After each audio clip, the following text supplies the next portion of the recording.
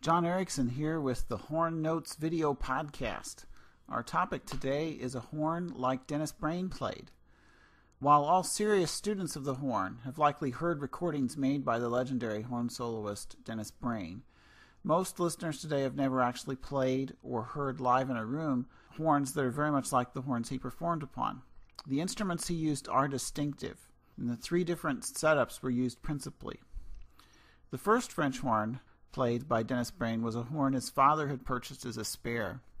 Aubrey played an 1865 Raoux Labbaye natural horn that had been converted into a valved horn, and Dennis started on a slightly newer Raoux Millereau horn that had also been converted from a natural horn.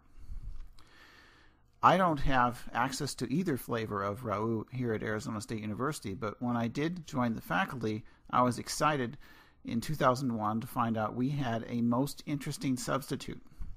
One of my faculty predecessors, Ralph Lockwood, has a strong interest in piston valve horns and was able to obtain for the university this vintage instrument, which is marked Superior Class Hawkes and Son, Denman Street, Piccadilly Circus, London.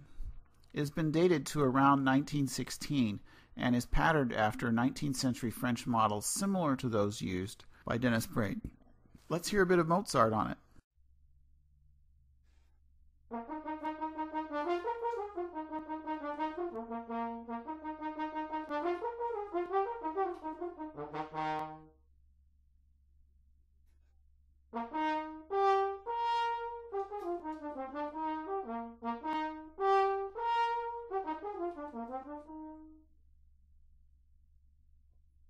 As to impressions from playing the piston F horn, on the positive side, the piston horn sounds much like a natural horn. It has an open quality that is hard to describe, but it relates to the light weight of the instrument. You have the distinct sense of not blowing through a lot of weight. As to negatives, the big negative of this particular instrument is the roll on the top F. With careful choice of crook and care in articulation, it is less obvious, but still something that makes me as a player a bit fearful to note. Also, it sounds much like a natural horn. This is something that could be a positive or a negative, actually, depending on your perspective. The horn has a smaller sound than a modern horn, to be sure.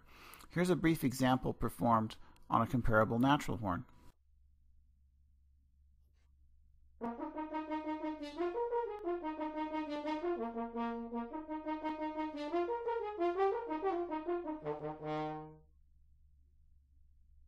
The second instrument used in his performing career was the same instrument, but reset and crooked in B flat alto.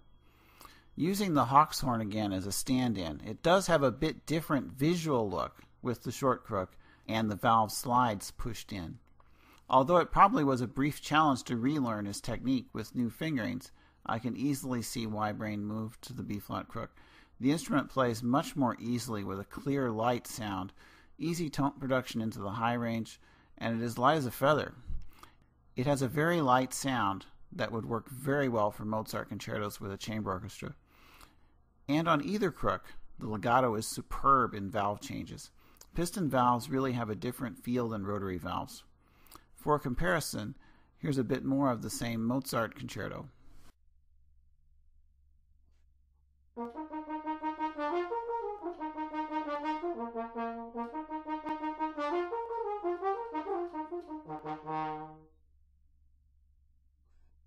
The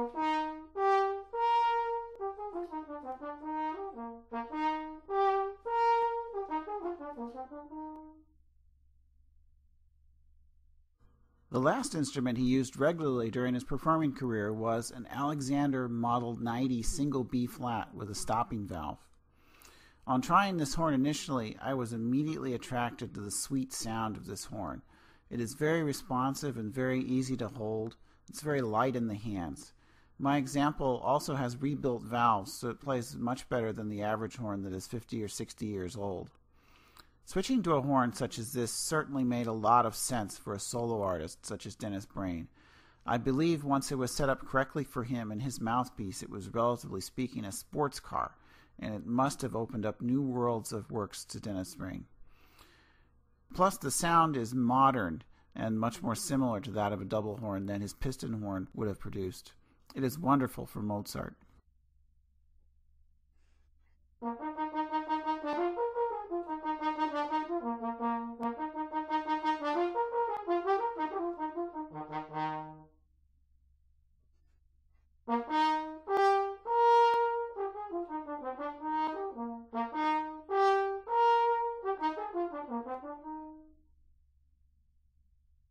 While it does not really fit for most of the ensemble playing I do, I do enjoy very much playing on my Alexander B flat horn for personal practice, church ensembles, and occasional solo and chamber music performance.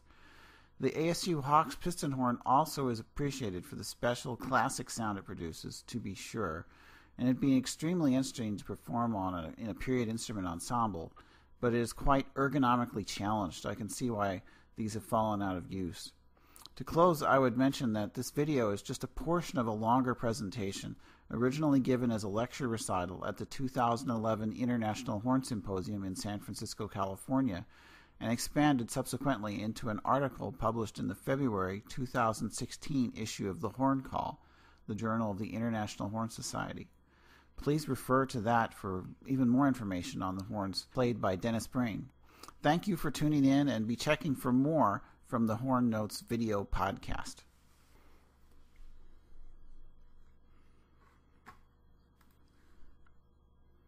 Please refer to that for even more information on the horns played by General